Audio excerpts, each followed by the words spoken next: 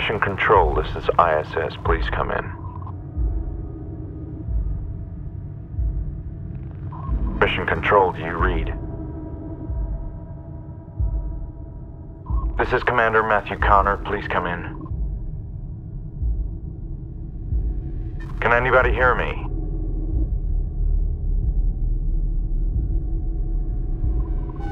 ISS, please come in. Please.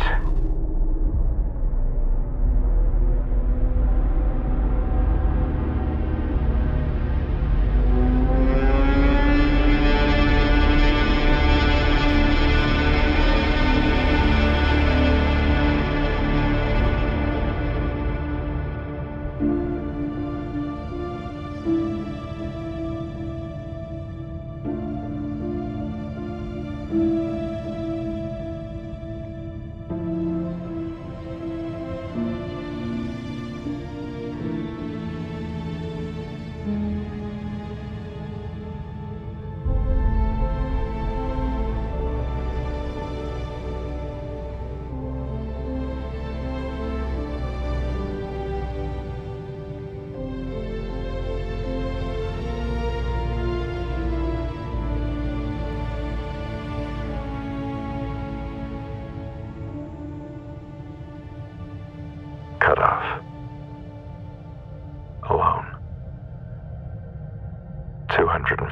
miles above Earth. Moving 10 times faster than a speeding bullet. And perpetually falling. It's been 18 hours since communications went down. Signal has been lost via radio, infrared, and the relay satellites. I'm checking the transmitter to see if I can regain contact, but, but nothing I do makes a difference. Looks like for the time being, I'm dead in the water.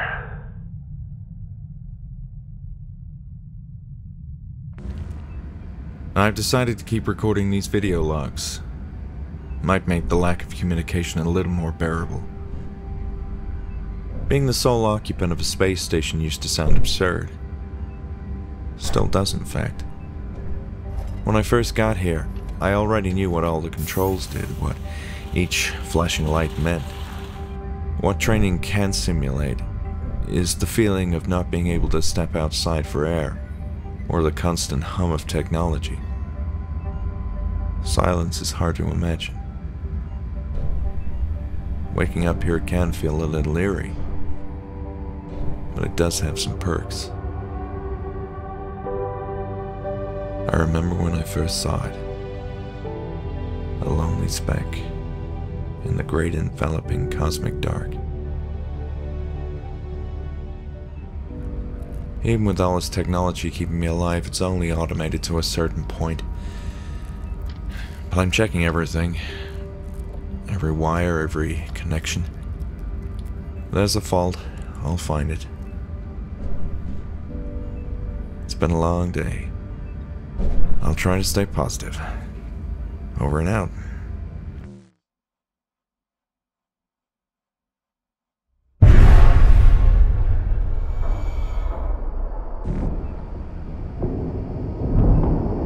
Is that? Sounds like knocking.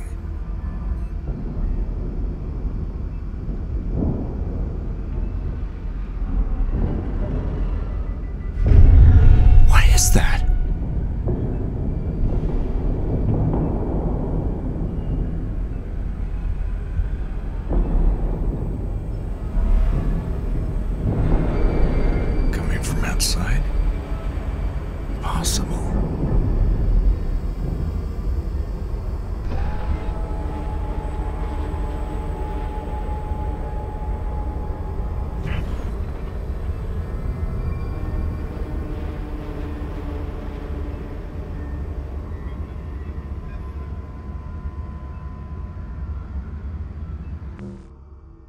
Must be the lack of sleep.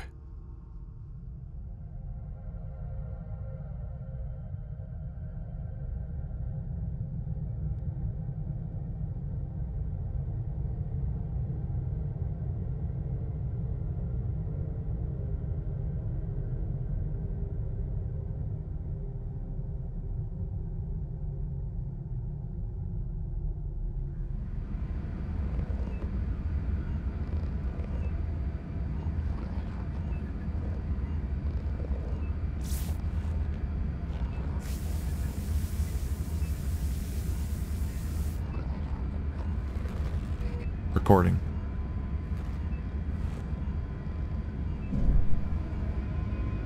It's tough to push on without knowing when this is going to end. Two weeks have passed since I lost contact with the surface, and the days are starting to blur. I don't feel myself. What's happening down there? Are they even trying to reach me? Something strange is going on with the equipment. Modules are going offline at random. I keep hearing these series of chimes, almost like music coming from the instrument panels. Recording sound.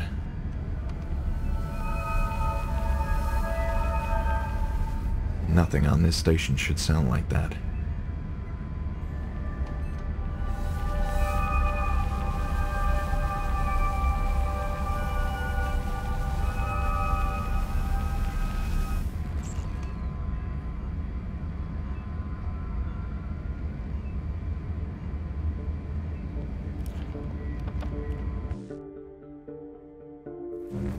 I'm trying to keep myself busy with work, carrying on as I normally would.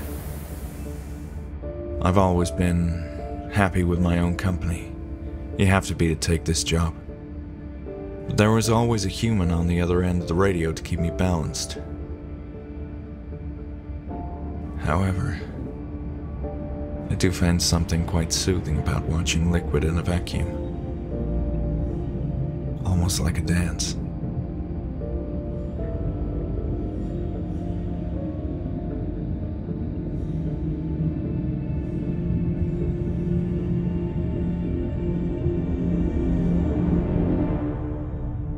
Been weeks since I lost contact with Earth, and even longer since the last ISS boost. It's up to mission controls to keep the station at the right altitude. I'm falling constantly, and without thrusters being engaged, I'll keep falling. It's not something I'm trained to do. I Better start reading some manuals. As bleak as it is, I need to seriously start considering long term survival. My food and water reserve will last another month tops. More urgently, the station's dropping 100 meters every 24 hours, and I'm now miles below a safe orbit. I'm doing my best to understand the station's thrusters. It's a different kind of rocket science, one miscalculation, I could end up falling to Earth even faster. Everything's starting to feel. Oh, fuzzy. I keep trying to remind myself of Earth. Walking in the mountains, dirt beneath my feet, another person's voice, their touch.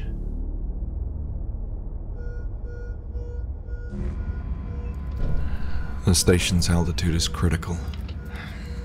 I don't feel good about it, but I'll have to risk firing the rockets. Only they aren't receiving the propellant fluid needed for a reboost.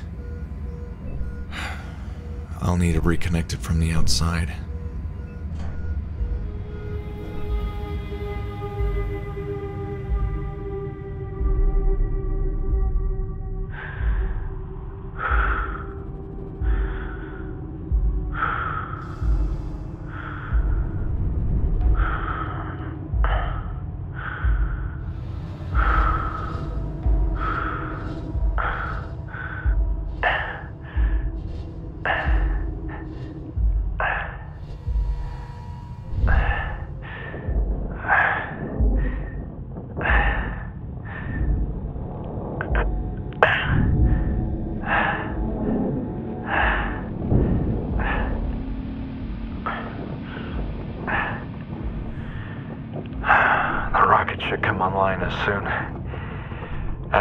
As I fix the connection.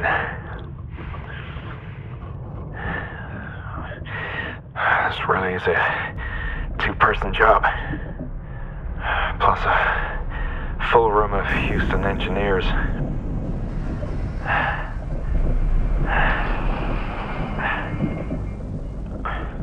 Come on. We've always been falling. Just gotta fall a little slower. There. Come on. That's it. Yes! One crisis averted. There's that sound again. Oh my. ISS,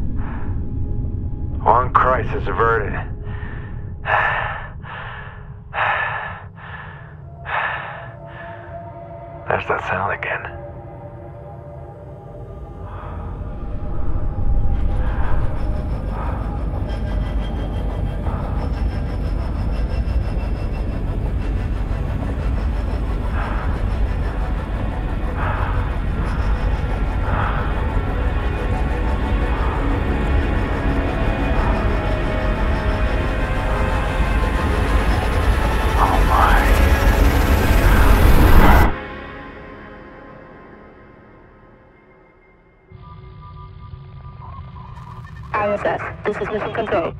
Please come in. ISS, do you?